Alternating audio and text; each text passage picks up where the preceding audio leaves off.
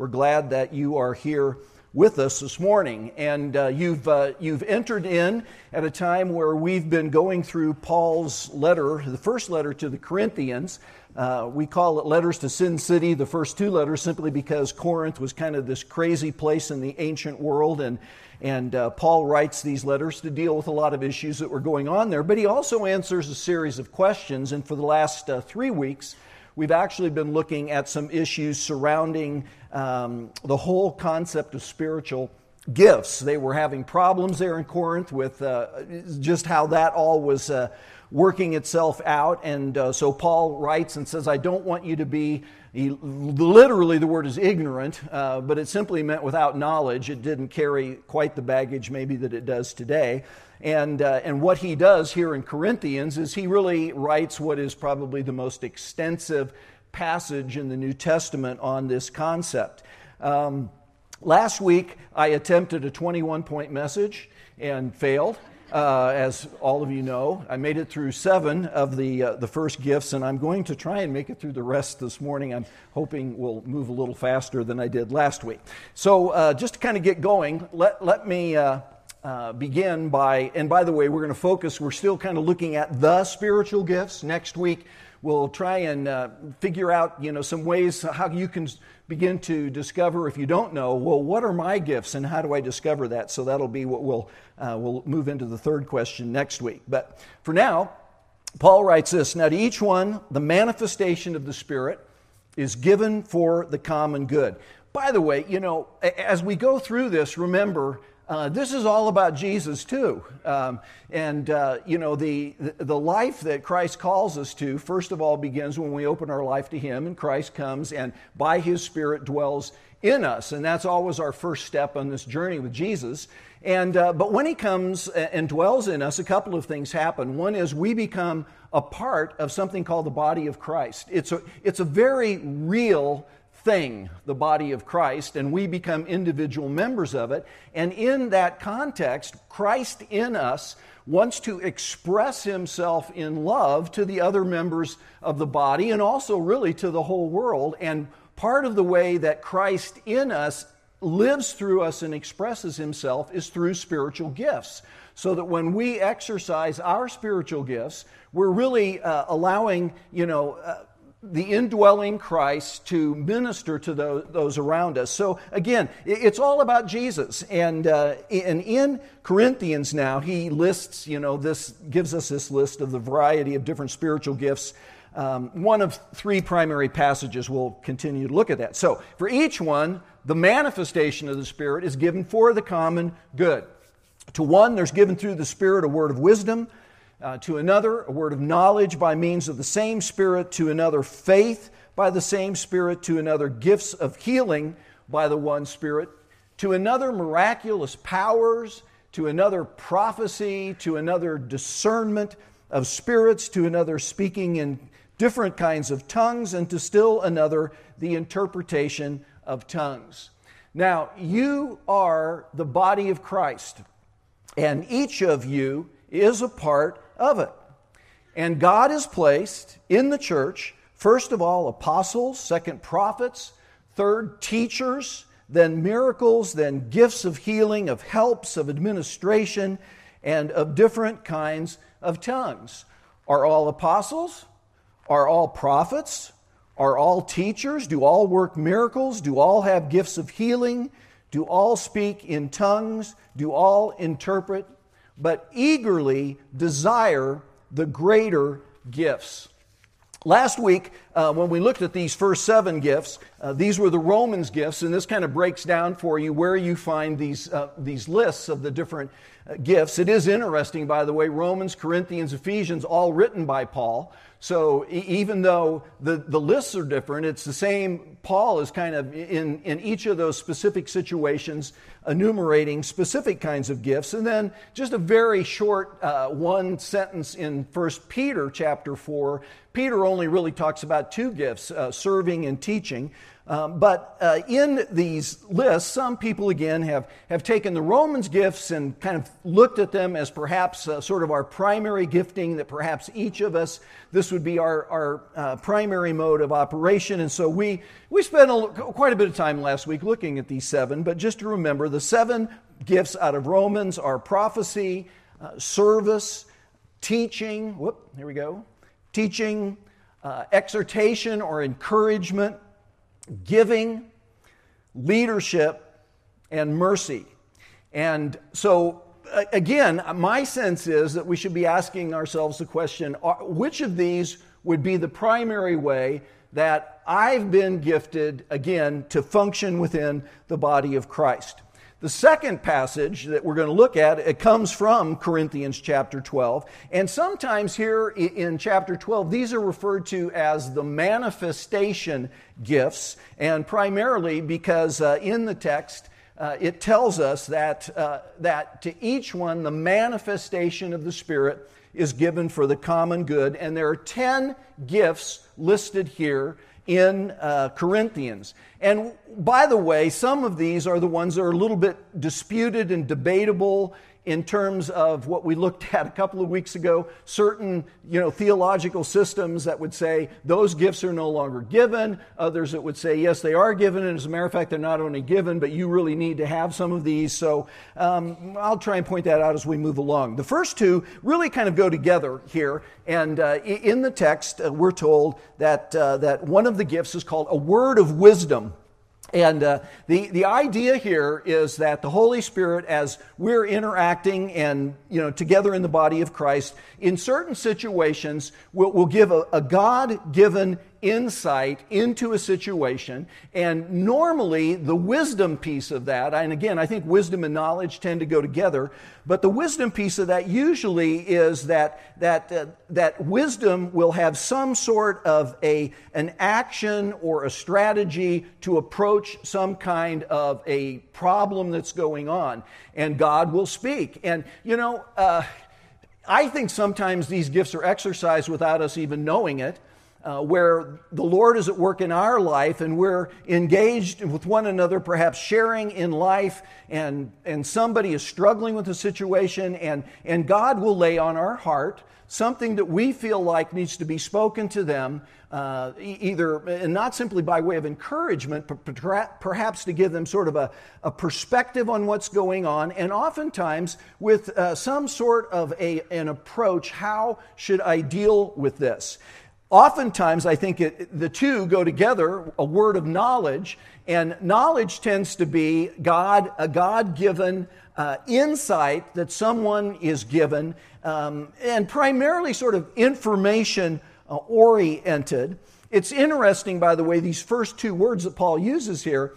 Uh, he's speaking into a situation where uh, where the church is actually also struggling with what's going on in the culture around it. And, and in the culture of Corinth, one of the, the big issues were what were called the mystery religions. And in the mystery religion, salvation was actually identified as uh, being something that was achieved through knowledge. And the exact same word that would be used within that uh, uh, pagan culture in terms of the route to salvation in, in these false systems, Paul kind of takes that and now puts a twist on it and says that really a, a real word uh, of knowledge or a real word of wisdom will come to us from God's Holy Spirit as Christ dwells in us.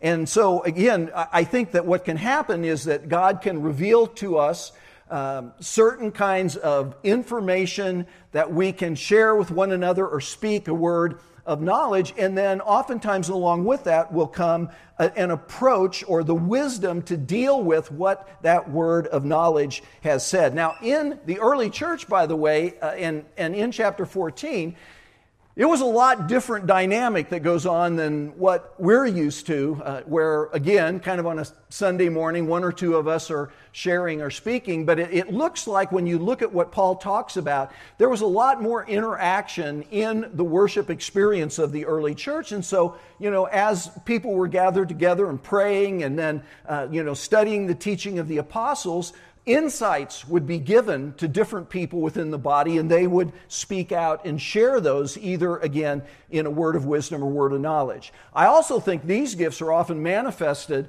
when a prophet is uh, you know prophet is speaking uh, a teacher is teaching uh, oftentimes that as there are uh, exercising those gifts god will give that person an insight that then he communicates either through his role as a prophet or as a, teacher.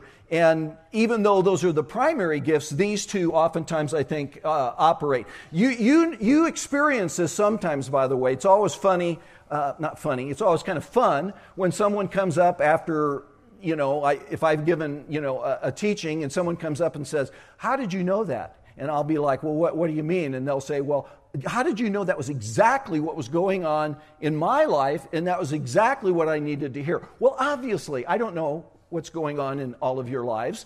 Uh, and, uh, and oftentimes I'm oblivious that, you know, that what is being spoken, I trust that what's being spoken and taught will minister to you. But sometimes that's coming across to you, and it's like God speaks to you specifically into what's going on in your situation. I think one of the, uh, and by the way, these would be two of the gifts that if you are a cessationist, and again, if you're visiting, this would be a theological system that says at the end of the first century, some of these gifts were not given. These would be two of the gifts that most that uh, our cessationists would identify because the thinking is that when these gifts were operating in the first century we didn't have the new testament yet. I mean the letters were being written. They hadn't been compiled yet. But that again in the mind of, uh, of a cessationist uh, the scriptures now fill the role that these specific gifts would have filled. And if you're not if you are a continuationist uh, and believe that all the gifts are still given, which would be our position here, um, then, uh, then even though we have the scripture, there are times when God will use someone to speak to us into a very specific uh, situation. A good illustration of it is found, by the way, in uh, Acts. Um, and this is, uh, Paul is getting ready now to, uh, to go to Jerusalem. It's a, you know, the third missionary journey is over. He's heading back to Jerusalem. And on his way back, he comes uh, to Caesarea. Um, and, and there in Caesarea, he stays at the house of one of the original seven deacons, Philip.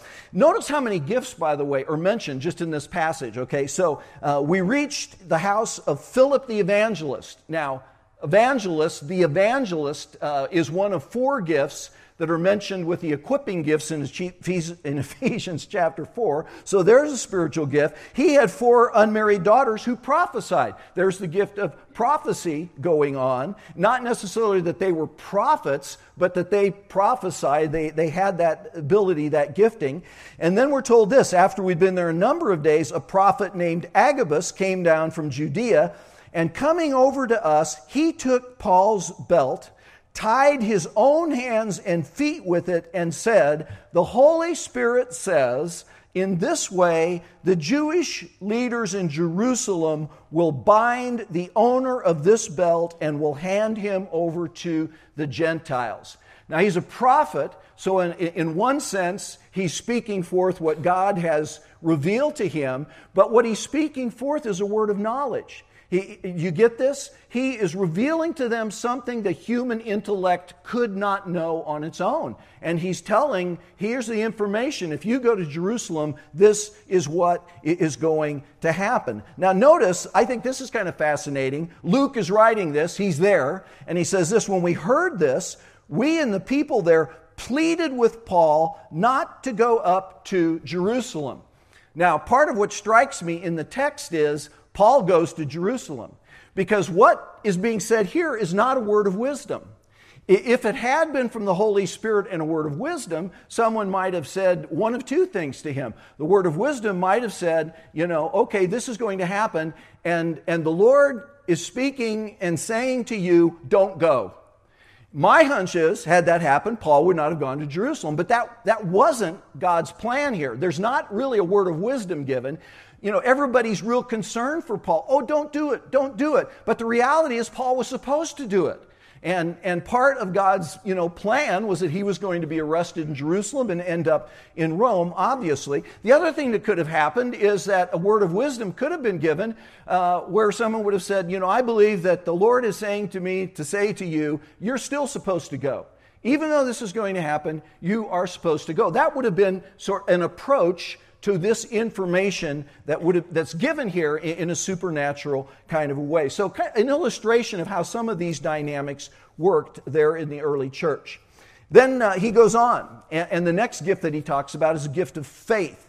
Uh, you know, we're all called to have faith, but the gift of faith is sort of an, an extraordinary confidence uh, that God is about to act in some specific situation or need. And the person that has the gift of faith, they just have confidence that, that when God has shown them He's going to do something, regardless of what the circumstances look like around them, they just believe God is going to come through.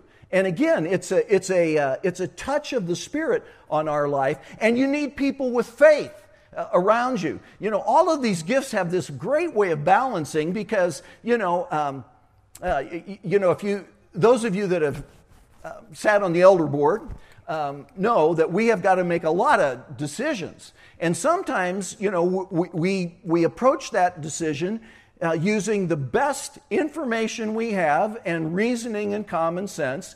And, you know, the, as operating in, in sort of this, uh, again, um, more humanistic kind of way, even though we're walking in the spirit you know we might say well we can't we can't do that. It just you know it doesn't make sense. Well someone with the gift of faith might know wait a minute. It, you know I, we understand that we're supposed to be you know dealing with situations with rationality. It's not you know that we just you know completely fly by the seat of our pants. But a person with faith god might have shown them wait a minute i'm going to do that uh, you know, and, and, this, this touch of the Spirit or this confidence, then, then they would communicate to the people perhaps making the decision, or maybe it's one of those people that are making the decision that get this, and it's like, hey, you know, I know God is going to do this. And, and that would be, again, a, a, a manifestation of the Spirit uh, coming out of faith that God's placed on their heart. Next gift he talks about is the gift of healing. I got to say, we need this gift so desperately. And I think it's, it's one of those gifts that, um, you know, one of two things seems to happen. One is that uh, it, it, just doesn't seem to be manifested much uh, in, in, the body of Christ, or s- sometimes people that I think maybe legitimately have this gift, they turn it into a circus. And, uh, and, and we you know, we're, we're, sitting here talking about people that are uh, in our congregation that are they're sick and you know and, and, we need god to touch them and heal them and some people have been given uh, gifts of healing. My hunch is that some of you have this gift. Uh, you've maybe never uh, attempted to exercise it or use it but but this is a gift that when a person um, prays for another person that is sick or injured, that there is divine intervention that takes place and that person is healed. And it was, again, it was in the first century, it was certainly a part of the life of the early church, and God, you know, unleashed this.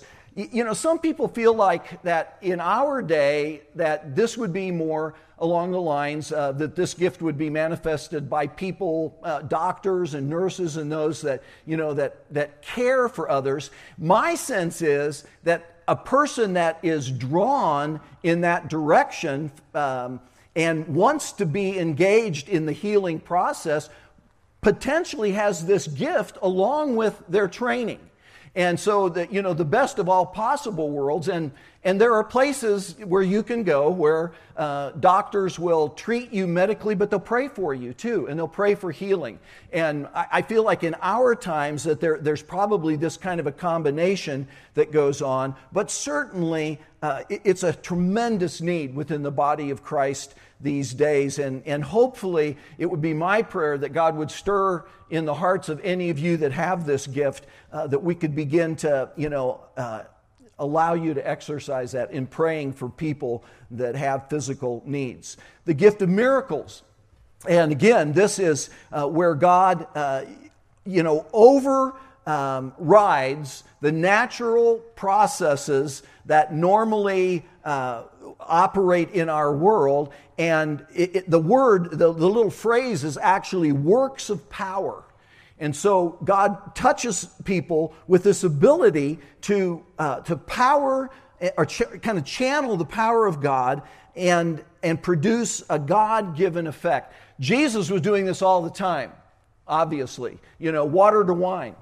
That would be a miracle. I mean, there was, you know, what, what as, as Jesus, you know, prayed for the water, uh, God completely changed the entire chemical structure of what was in you know, the, uh, uh, the, the jar there, and it, it became wine. And again, there tended to still be, after the time of Christ and throughout at least the first century, you would see this happening. And, you know, I, I look at all of these and think we so desperately need all of the gifts to be operating. So, miracles, a, a gift of the Holy Spirit at times given to people. Um, prophecy, we've already looked at, but again, uh, this is that gift that's given where someone speaks forth the word of God under the inspiration and the motivation uh, of the Holy Spirit. And then uh, this gift, discernment of spirits. And this is a spiritual gift where a person uh, is given the ability to, to be able to judge in certain situations uh, what's operating here. Is what's operating simply a, uh, a human dynamic uh, or is this an act that God's Spirit is at work? And um, let, let's just say that someone says, I have a message from God. And let's say they give that message. Someone with the discernment of spirits would probably be able to respond by either saying, uh, You know, I, I, I believe that is from God. Uh, other times, someone that is exercising this gift might say, You know, time out something is not right here. You know, I, I'm, I'm sensing that something, that this isn't from God. Now, this gets messy, by the way, obviously. And I think that the, the, the early church was probably a little messier than what we're normally used to because there's kind of these dynamics you know going on but but the, and sometimes a person might say you know i believe that that's from the devil there's this discernment of where is this coming from? Is it human? Is it godly? Or is it, is it dynamic? It's kind of interesting. I was thinking this week as I was working on this. Uh, a number of years ago, um, Allison had been working in India uh, on behalf of the Untouchables, and uh, Baker and I took a trip to India uh, to see, you know, what she was doing and to meet some of the people there in India. And we were in a little town, well, little town. We were in a town probably most of you've never heard of, Lucknow in India. It's about the size of Denver, so it's not really a little town. But again, you know, most of us aren't real familiar with the geography of India. But we had heard about uh, this event that was taking place. Some of you have heard me tell part of this story uh, called An Audience with the King. And what was going on and we went out to see this. What was going on was that, uh, you know, a couple of years before we were there, uh, there was a Catholic priest that had a Christian ashram, which is kind of a little retreat center. And he had sent out word into his community saying, um, I'd like to pray for you. Come and I'll pray for you. And people began to come to be prayed for. And and they began to come to faith in Jesus Christ because obviously most of the people in the community uh, were Hindus. And, and this began to grow, and more people began to come. And he said, and finally got to the point where he said, Well, maybe we ought to do a little music with this, you know, and have a little worship time. So they had a little worship time, and then, and then he decided, Well, maybe we ought to, you know, toss in a message too. I mean, this is beginning to look a lot like a Sunday service, but it kept growing and growing and growing.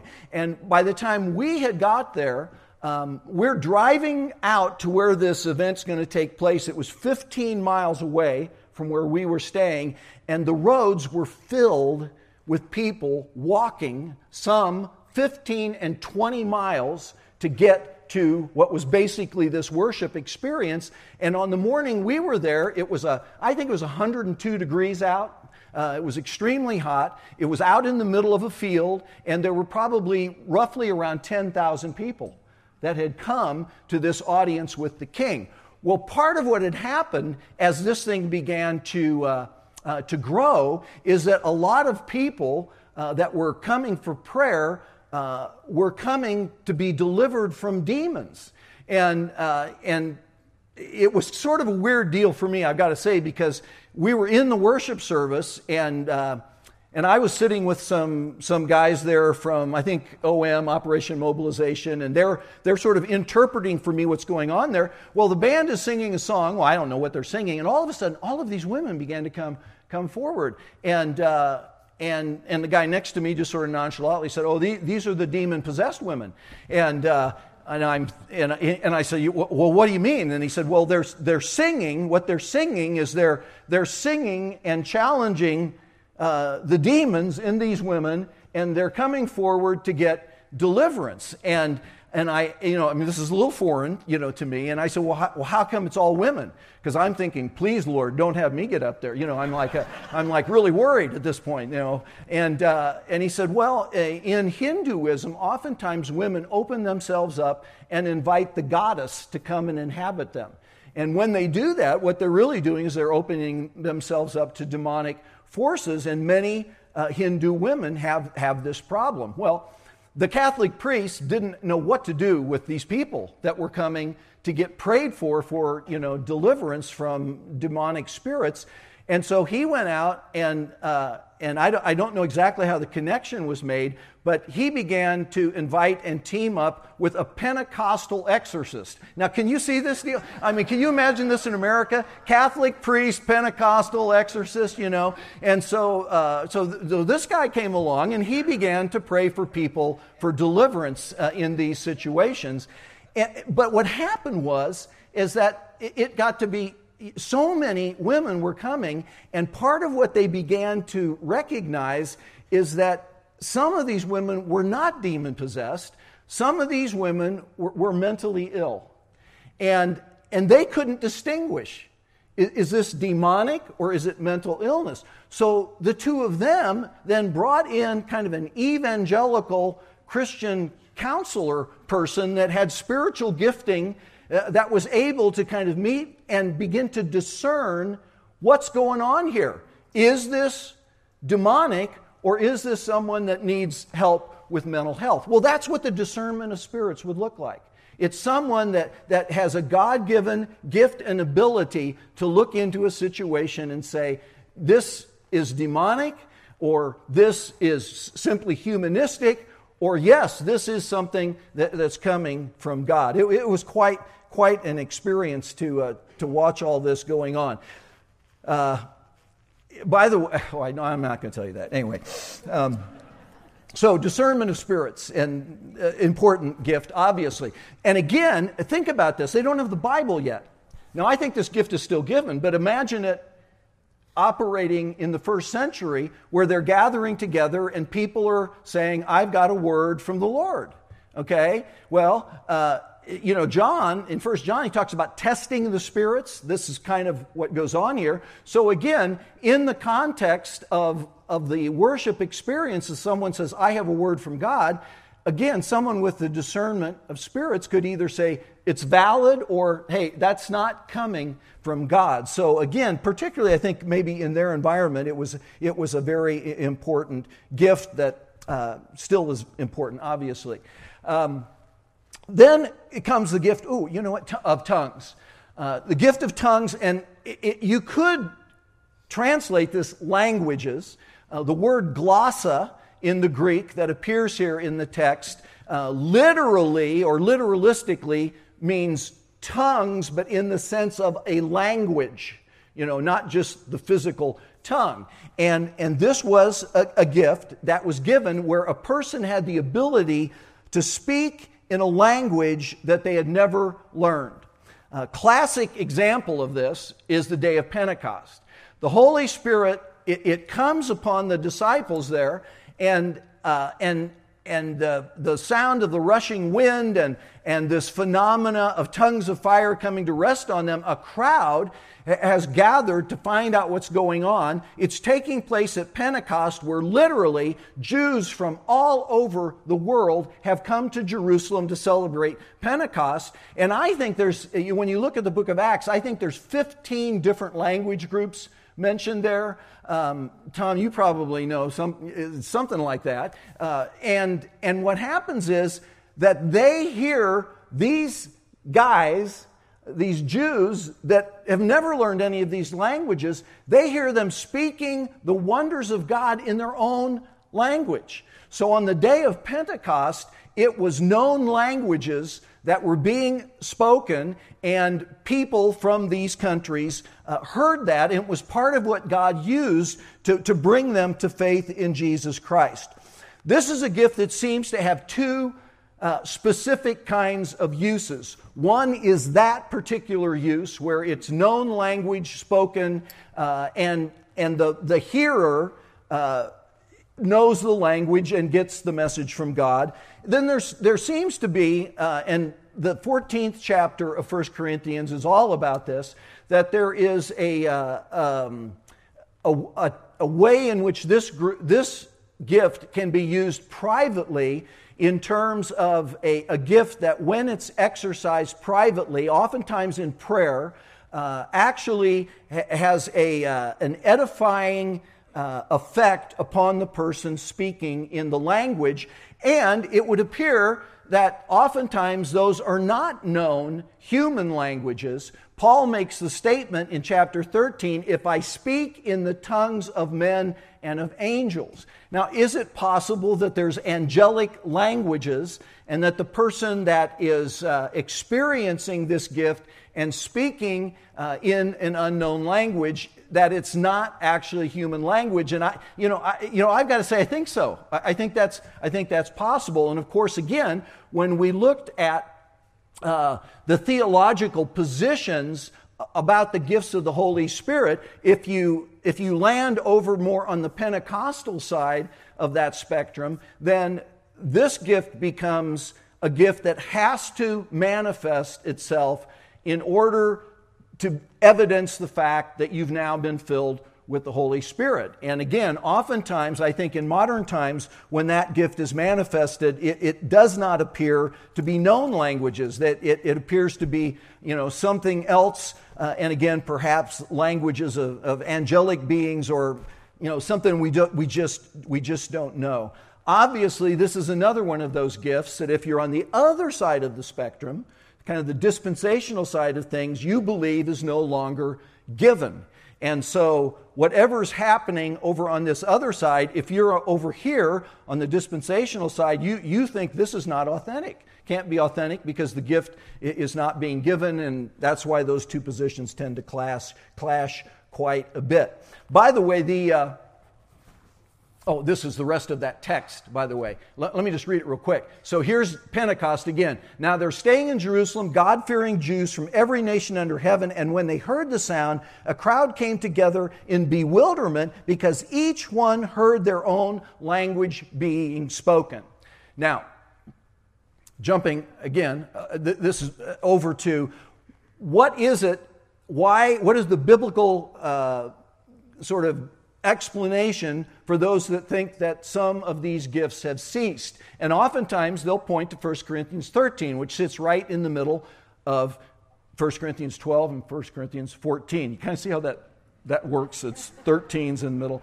We, we, you know, we hear it at weddings uh, all the time. It's actually written to the church because these guys can't get along together. Okay, so he's, he talks about spiritual gifts, but then as he, in the midst of it, he says, But I'm going to show you, eagerly desire spiritual gifts, but let me show you a more important thing, a better way. And then he articulates the love chapter. So again, if I speak in, and again, so think about this because the context spiritual gifts. If I speak in the tongues of men and of angels, but I don't have love, what? I'm just a noisy gong or a clanging cymbal. And so love is way more important than the gifts. And the Corinthians needed to learn that. We probably need to learn it too. So, uh, gift of tongues. Now, along with that, then, a gift is given called the interpretation of tongues or, or, languages. And this is a gift that has the uh, ability to understand what's being spoken uh, with the gift of tongues, understand without knowing the language, if it is, you know, a known human language, but knowing what the message is. And so what's going to happen here is God is going to bring these two gifts together to give a message to the body of Christ as they're together engaged in worship. And but the way it's going to happen is one person is going to give you know, get the gift of, you know, the, the message in tongues that they don't understand at all. And another person is going to receive the interpretation of that. And they don't know the language, but they know what it is that's being said by the person speaking in tongues. And so they then are able to explain what the message is. Um, in chapter 14, by the way, part of uh, apparently what was happening uh, in Corinth is that in public worship, where outsiders were coming in, um, this gift was being exercised. And what Paul says is if somebody comes in from the outside and you're, you're all speaking in tongues, they're just going to think you're nuts.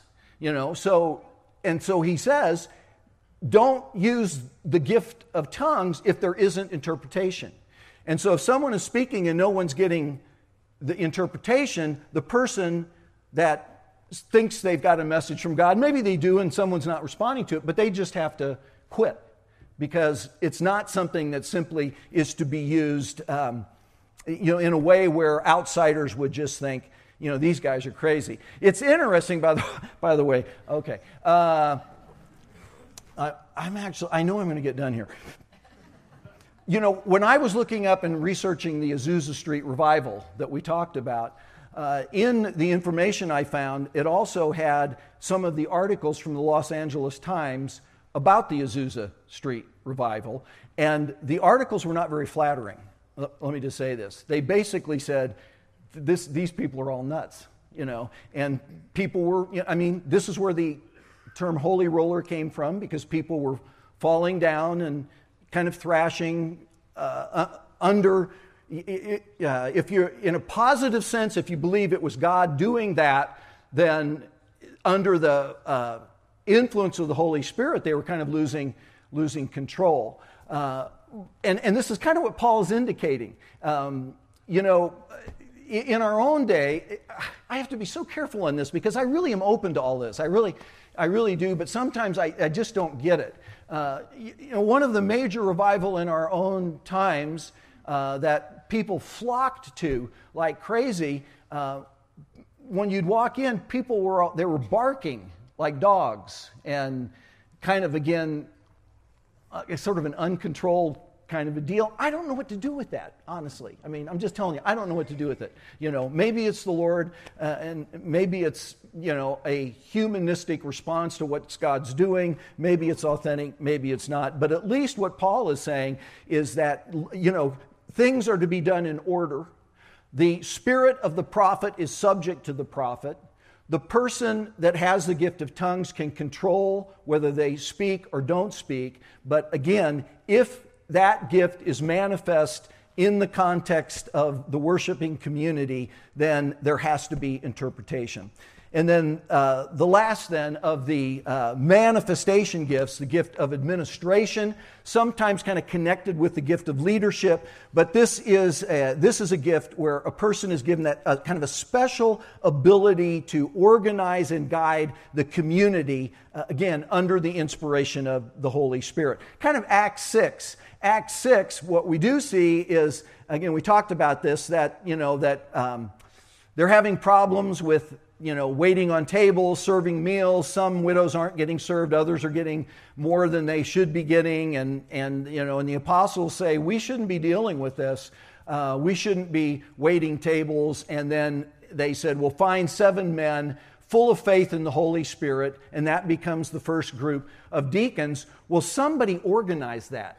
And we don't quite see who that was. I mean, the idea, the idea was let's find these people but then someone had to come along and say, okay, I'm, we're going to go find them, we're going to organize them, and we're going to tell them what they need to do. And that would be what a gift of administration does. And again, balance in all of this. I pointed this out uh, last week. But again, you, you know, on the one hand, you have prophecy, which is somebody, you know, you know, which speaking forth the word of God and, uh, you know, powerful stuff. And, but then you got the gift of serving someone that is, you know, giving their life uh, simply uh, trying to meet the needs of the body of Christ, and they're just absolutely as important. Uh, you know, serving as important as prophecy. Uh, teaching, here's what the word says, balanced out by exhortation. Here's how you need to put that into practice. And so, beautiful. Faith. God can do this. I know God can do this. But somebody then has to administrate that happening. So you got faith and you got administration. And, and boy, you get those two guys in a room together that don't understand that's what the gifts are, they're never going to get along, okay? Because they just think completely different about, about the, uh, all of this. So, anyway, so why it's important. So, then, uh, so those are the those are the manifestation gifts 10 manifestation gifts finally in ephesians chapter 4 we have what are called the equipping gifts these are really offices uh, within the body of christ uh, so it's a little different than the way the other gifts are communicated in Corinthians and Romans. But four equipping gifts, and that uh, kind of title comes from the text in, four, in Ephesians 4, where it lists these four apostles, prophets, evangelists, and it's four or five, depending on whether it's a pastor, teacher, or pastors and teachers. That's a whole grammatical Greek semantic thing that you kind of flip a coin on. But, but the important point is well, what are the, what's the function of these offices within the body of Christ? And it's this for equipping the saints for the work of service to build up the body of Christ. When you come here on a Sunday, you're the ministers, okay? Your primary ministry, what, you know, even if it doesn't look like Ron, something very organized, your primary ministry is your life. It's you. And so, again, the more you grow and mature spiritually, the more effective you're going to be simply in living your life in a way that accomplishes the plans and purposes of God. And, and the, the role of the equippers are to help you grow and mature spiritually. As a matter of fact, it's almost defined in the next verse until we all attain to the unity of the faith and of the knowledge of the Son of God to a mature person to the measure of the stature which belongs to the fullness of Christ. And this was a huge concern of Paul's, by the way. As a matter of fact, Colossians 1.28, great text, I don't think, I don't have it up this morning, but Paul really, in a very brief time, tells exactly what his intentions are in ministry, and it's all giftedness, by the way. We proclaim him which is the gift of an evangelist, sometimes the gift of an apostle, because if you're proclaiming in a place where no one has ever heard before, that's an apostolic ministry, but it also might be evangelistic. We proclaim him, and then what does he say? Teaching and admonishing, those are two spiritual gifts the gift of teaching, the gift of exhortation. So, proclamation, evangelism, apostleship, teaching, uh, exhortation. Why? Uh, we teaching and admonishing everyone with all wisdom in order that we might present everyone complete or mature in Christ. And again, so, you know, the role of the equiper is to help you become more uh, uh, mature in your spiritual life. So, four quick gifts, uh, and you see those in Ephesians down there. Actually, this little graph mentions splits pastor and teacher and splits them up. But, you know, again, very, very briefly um, apostle, the one that's sent forth uh, to take the gospel into unreached areas. Today, that would be probably a missionary gift, taking uh, the message to areas that still have never heard. Um, after the apostle, the evangelist, we're all called to share our faith. Some people have a very unique, God given ability that when they share their faith, people actually come to faith.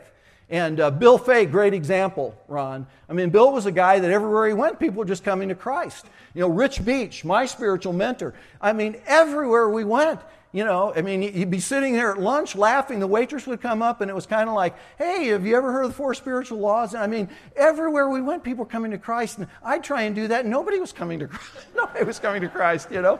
And, uh, but Rich was an evangelist. You know, Billy Graham, great example. On a mega scale, Billy Graham. Uh, I, have told the story of going to Billy Graham crusade after first coming to Christ. I'd never listened to Billy Graham in my life. I had no interest in listening to Billy Graham. I'm at this crusade. Billy Graham's up there. He's giving this message. I'm thinking, I'm sitting by Rich Beach. I'm thinking, Rich is a lot better than this guy. You know, I mean, literally, this is what I'm thinking. You know, this guy's not that great. And then he gives this altar call, and I'm thinking, oh, this is going to be very embarrassing. You know, because you know it wasn't like this great. And all of a sudden, people just start flooding up to receive Christ. And suddenly I'm realizing, oh, this is what the gift of evangelism looks like. So for some people, it's one on one and it's not, you know, not a big deal. Others, it might look like a big deal, but it's a gift, a gift to, uh, to really clearly present the claims and the result people come to faith. And then the final gift, pastor teacher or pastor and teacher, simply one that's been gifted to provide for the spiritual needs of the flock under them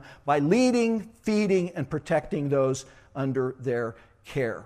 Now, let me just close by saying this Is this an exhaustive list? Probably not. There's probably other gifts. You know, for instance, Old Testament, there were gifts of craftsmanship, there were gifts of artistry to be able to, you know, produce, you know, the, uh, the furnishings there in the temple. Probably not, but what we do know is that all of us have one or more of these. And again, the big takeaway is simply this that God wants us to discover and develop and deploy our spiritual gifts, whatever they are. And uh, so next week, we'll kind of look a little bit at how do I figure out what my gifts are. Let's pray. Father, um, thank you that you have given us gifts.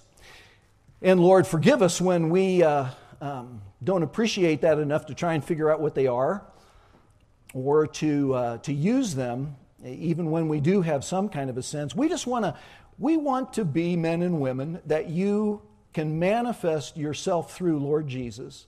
And we know that oftentimes, along with simply loving on people and serving people and uh, sharing with them good news, that oftentimes it, it involves exercising these gifts. And that when we do, you use them to bless people. And uh, you use them as uh, vehicles of your grace into the lives of others. So, Lord, we, we just want to know what you know, show us what our gifts are and help us figure out how to use them more effectively, uh, both here at Highline and in our ministry that you have called us to in the city and in the world. In your name, Jesus, amen.